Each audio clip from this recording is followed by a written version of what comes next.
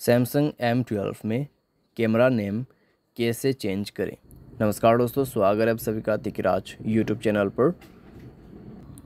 तो दोस्तों, इस वीडियो पे मैं आपको बताने वाला हूँ कि आपके जो कैमरा का नेम है, वो कैसे चेंज होते हैं। ठीक है? वीडियो को अंत तक देखिएगा।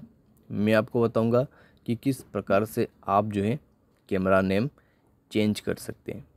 वीडियो शुरू करने से पहले दोस्तों, अगर आपने चैनल को सब्सक्राइब नहीं किया है तो सब्सक्राइब करते हुए बेल आइकन को क्लिक करें और अगर आप ऑनलाइन पैसा कमाना चाहते हैं तो वीडियो डिस्क्रिप्शन पर लिंक मिल जाएगा। चलिए दोस्तों, वीडियो शुरू करते हैं। तो दोस्तों, सबसे पहले आपको जाना है कैमरा पर, ठीक है?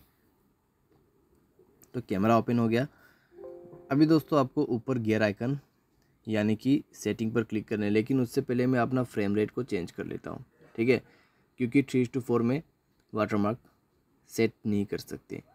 तो गियर आइकन पे क्लिक करें एंड देन आपको नीचे की तरफ़ जाना है। ये है दोस्तों आपका वाटरमार्क इनेबल कर लीजिएगा। वाटरमार्क पे क्लिक करते हुए जाइए और यहाँ पे आप चेंज कर सकते हैं, ठीक है? तो इस तरीके से दोस्तों आप चेंज भी कर सकते हैं। उसके बाद आपको सिंपली बैक कर देना है और आपका जो यहाँ पे वाटर मार्क है वो सेट हो जाएगा। ठीक है?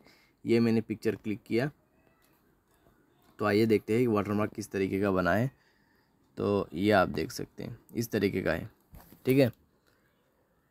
लेकिन दोस्तों, यहाँ पे जो चीज़ है, जैसे कि सैमसंग क्वाइट कैमरा तो ये तो दोस्तों रहेगा ही। ठीक है? सैमसंग क्वाइट कैमरा रहेगा, लेकिन जो नेम है दोस्तों यहाँ पे आप इसको बदल सकते हैं। ठीक है? तो इस तरीके से ही काम करते हैं दोस्तों। आ, अगर आपको पता है तो यहाँ पे ठीक है। ठीक है? नहीं तो मैं आपको बता दे रहा हूँ कि किसी भी मोबाइल का जो है कैमरा नेम आप चेंज कर रहे होते हैं उसके मोबाइल का जो नेम है वो आती ही है। ठीक है? जैसे कि यहाँ पे सैम सैमसंग क्वाइट कैमरा है। अगर रेडमी की बात करें तो AI कैमरा ऐसा कुछ आते हैं। ठीक है? तो उसको तो रिमूव नहीं कर सकते लेकिन कैमरा का जो नेम होते हैं, उसको आप चेंज कर सकते हैं।